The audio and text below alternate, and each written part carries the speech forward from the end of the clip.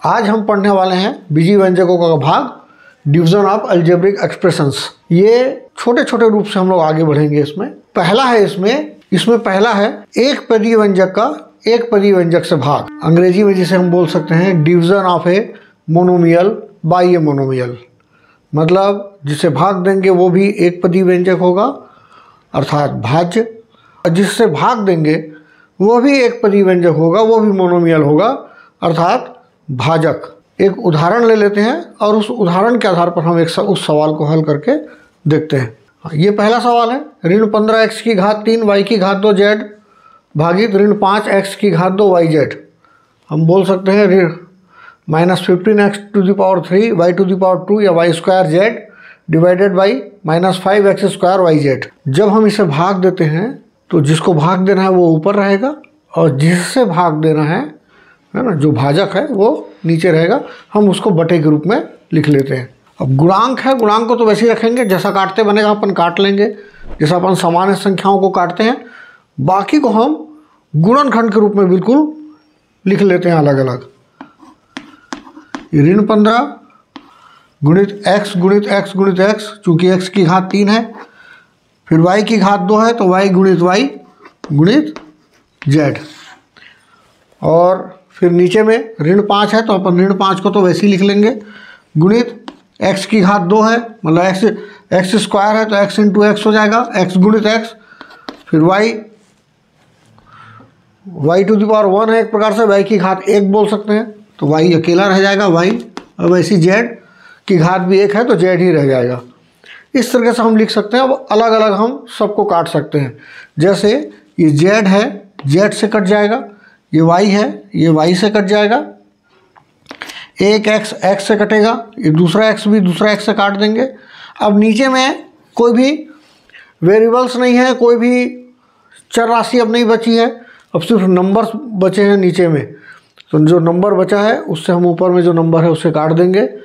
मतलब अचर राशि को तो ऋण है, ऋण ऋण आपस में कट जाएगा, और पाँच एकम पाँच पाँच दिया पंद्रह।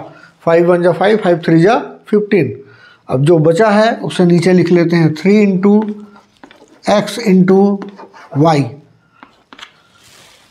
तो जब ही गुणा को लिखने की अपने को ज़रूरत नहीं है, अपन इसे अलग अलग रखे थे, अब उसको एक साथ कर देते हैं थ्री एक्स वाई ये हम लोगों का आंसर हो जाएगा, ये हमारा भागफल है। तो ये था एक पदी व्यंजक का एक पदी व्यंजक से भाग।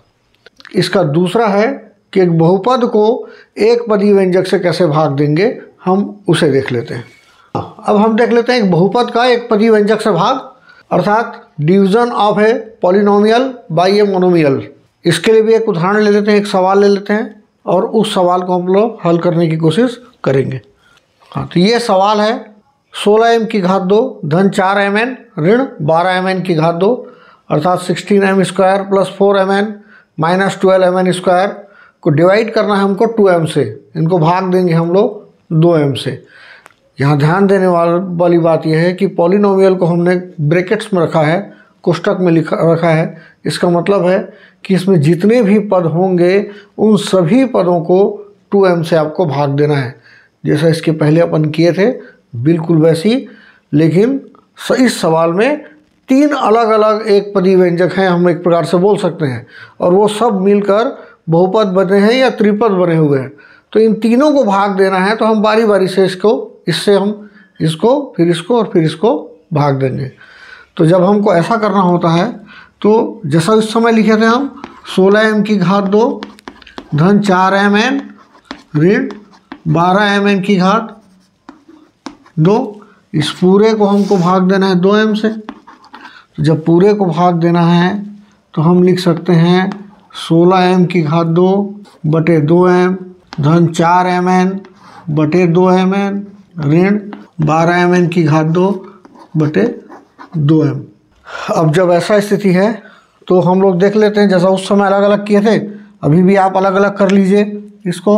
सोलह गुणित एम गुणित एम बटे दो गुणित एम, धन चार गुणित एम गुणित एन बटे दो गुणित एम। ऋण बारह, गुणित एम गुणित एन गुणित एन बटे दो गुणित एम। अब जैसा उस समय काटे थे, अब देखिए एक एक सवाल लगभग पिछली बार जो बनाए थे, वैसा हो गया, ये वैसी एक, ये दूसरा, ये तीसरा। इसको वैसे करते हैं, एम को एम से काट दिए, दो अट्ठे सोलह, नीचे में आ गया हमारा आठ एम, धन, यहाँ भी एक एम और एम कट गया, दो दूनी चार तो क्या बच रहा है? दो एन, यहाँ भी हम एम को एम से काट दिए और दो छक्के, बारह।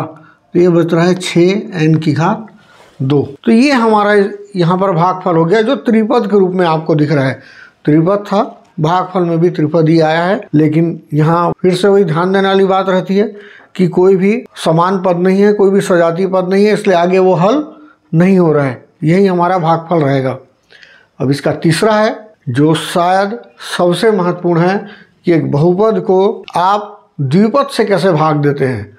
क्योंकि द्विपद से भाग देना सामान्यतः वैसा नहीं है जैसा हम अभी तक देख रहे हैं। थोड़ा सा कठिन हो जाता है और बहुत ही महत्वपूर्ण भी है।